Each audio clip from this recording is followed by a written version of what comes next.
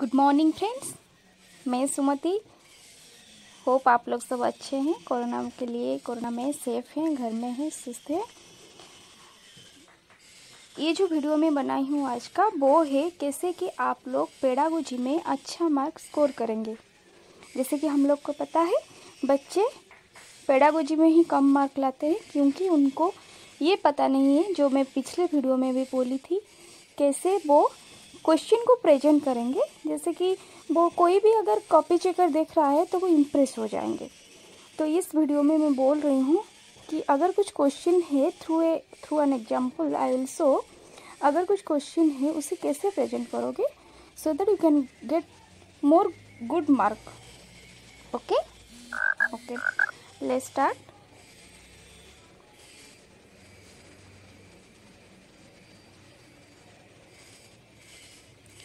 okay okay. पहले तो ये समझ में आना चाहिए कि अगर हम एक क्वेश्चन लिखने जा रहे हैं तो हमको दो चीज़ माइंड में रखना है कि क्वेश्चन में क्या गिविन है क्या क्या टर्म है, और हमको हमारे आंसर में क्या देना है जैसे कि to write a question we need first to make a concept map in our mind that what is given terms in the question and what should be in our answer यहाँ पर एक term आता है concept map concept map का मतलब आप लोग पता है, फिर भी मैं नेक्स्ट स्लाइड में बताऊँगी. कॉन्सेप्ट मैप जो होता है, वो एक आपको पिक्टोरियल फॉर्म में, एक ग्राफिकल फॉर्म में एक आइडिया देगा कि मुझे क्वेश्चन में क्या क्या इनपुट करना है सो so दैट मेरा क्वेश्चन इम्प्रेसिव अट्रैक्टिव लगेगा.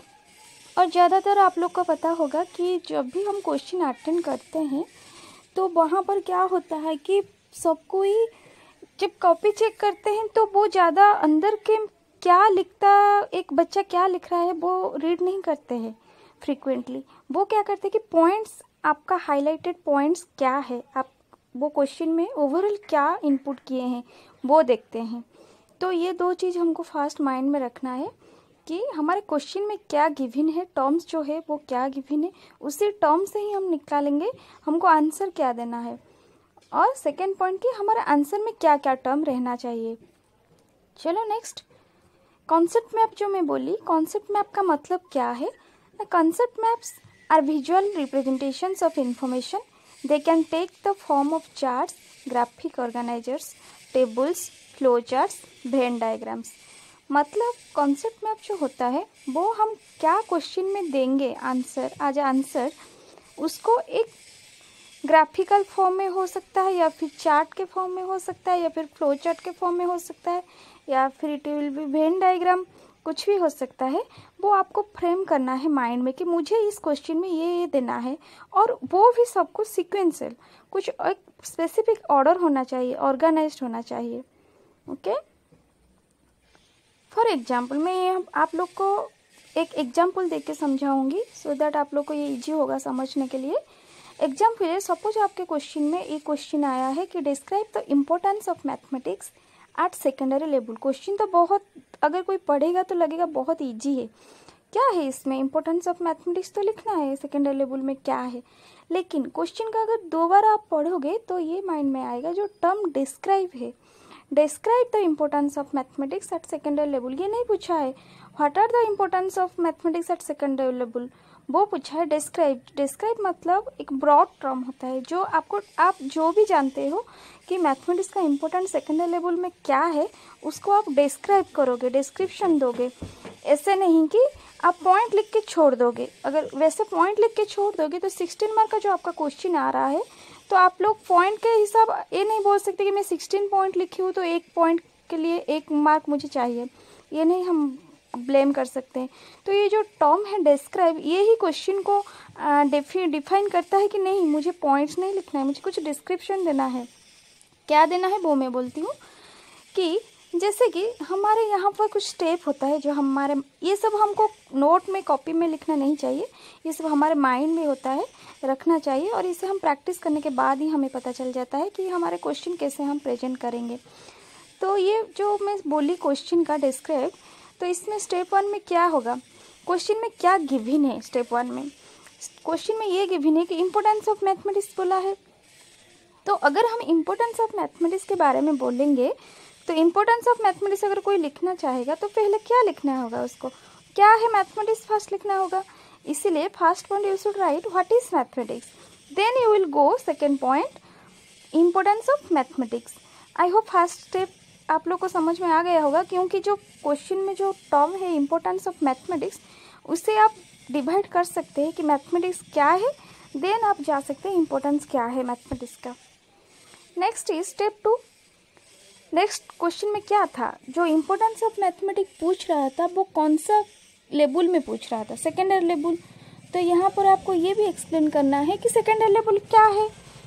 ये सुनो सेकेंडरी लेवल जो होता है before going to secondary level secondary level से जाने से पहले आप लोग को जो आज secondary level comes under education and school education system so you should write few points about what is education then you will go level of education जैसे कि हमारा लेवल ऑफ़ एजुकेशन में आ जाएगा primary level secondary level higher level but higher level का कोई need नहीं है यहाँ पर, क्योंकि ये सेकेंडरी लेवल पूछा है तो आप प्राइमरी एलिमेंटरी सेकेंडरी आप एक्सप्लेन कर सकते हो।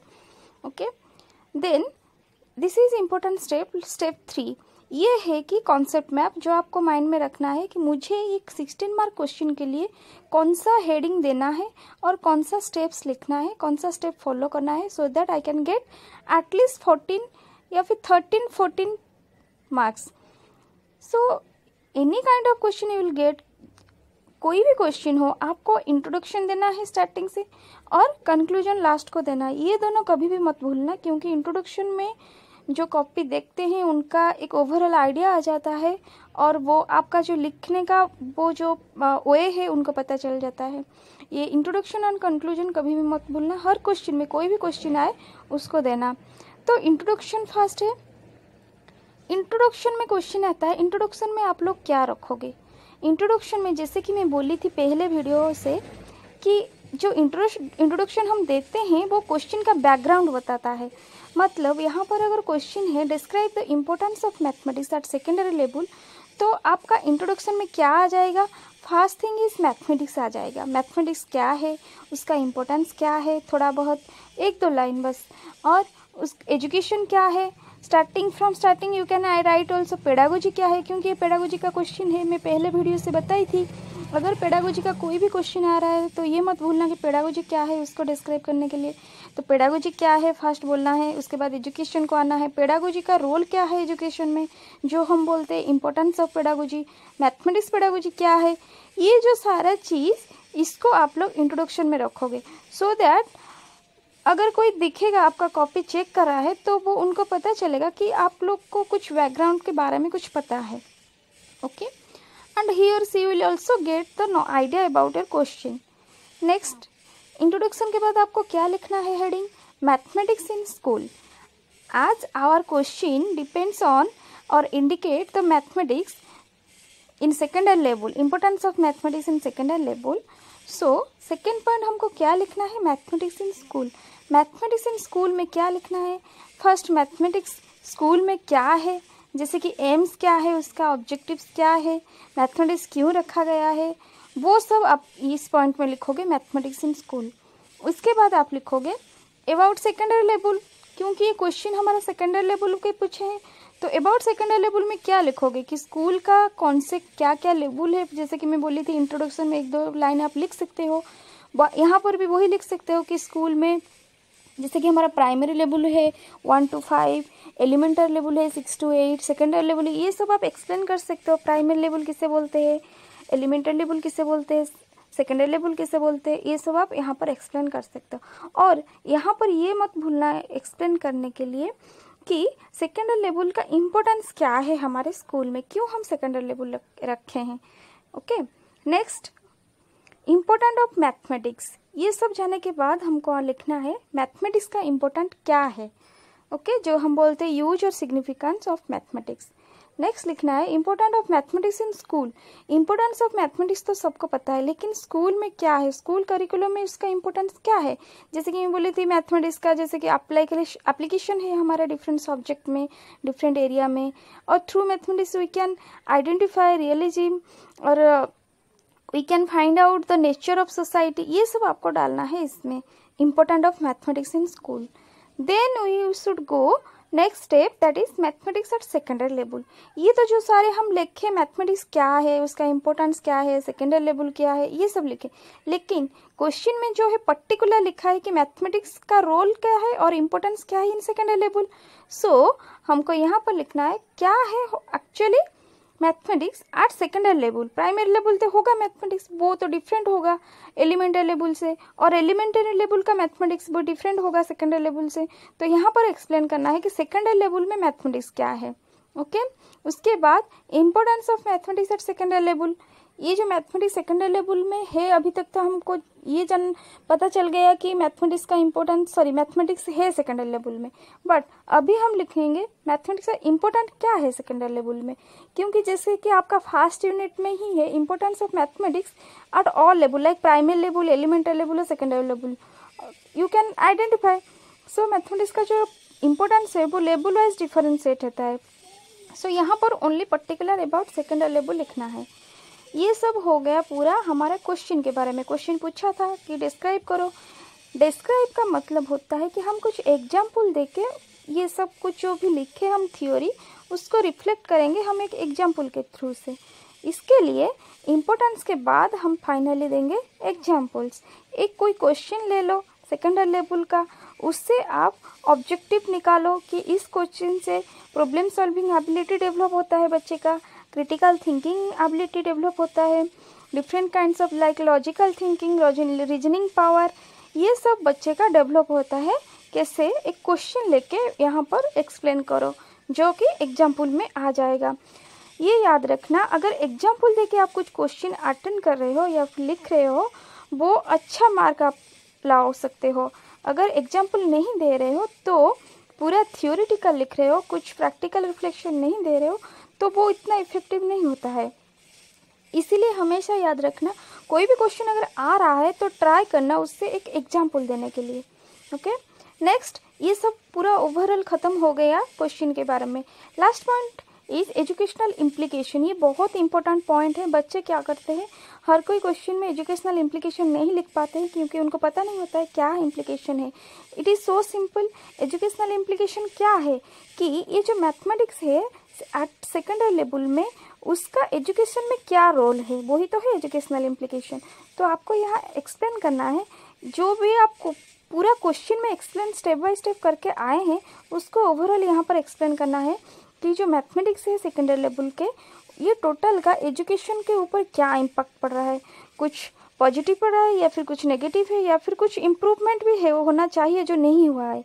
ये सब एजुकेशनल इम्प्लीकेशन देना है।